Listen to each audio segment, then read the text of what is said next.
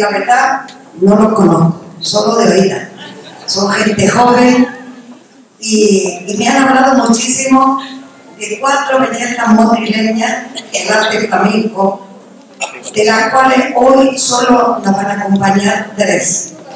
Se conocieron hace 20 años cuando aprendían y empezaban a formarse en la reconocida Academia de Ángel Bermúdez e Irene Molina.